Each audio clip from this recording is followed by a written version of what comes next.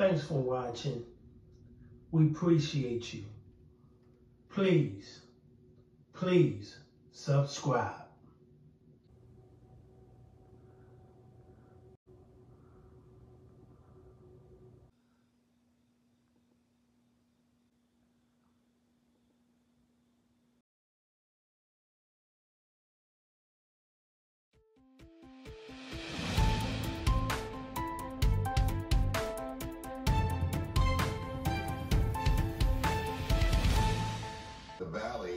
An officer involved shooting a Mesa we told you about a short time ago. So these are ground pictures from the scene. This is 8th Avenue, Dobson. So here are the new details. The suspect in this case was shot and killed by police officers. So police say when this started, there was an employee at the 7-Eleven who called police about a vehicle parked in front of the store with a man inside. Now earlier we saw what looked like a brown truck Yeah. kind of in the parking lot there, and I think we're shielded from it here by the by the police vehicles with door open. Mm-hmm. So police ran the place. They discovered that that vehicle was stolen out of Chandler, and when officers arrived there, they tried to make contact with the man inside the vehicle, but police said they were having trouble getting him to respond. So they moved in and they put vehicles behind his to try to box him in and see what was going on, trying to make contact with him for about 20 minutes.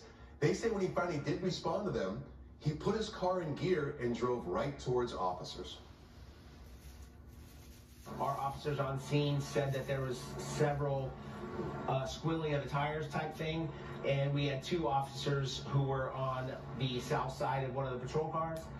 That vehicle then rammed one of our patrol cars and hit the corner where the officers were standing, and that is when the officer involved shooting occurred. Yeah, it, it is considered uh, assault with a deadly weapon when you drive your car at police officers, and they are allowed to respond with gunfire if that's what happened in this case. The man did not survive. Fortunately, no officers were hurt. Thanks for watching. We appreciate you.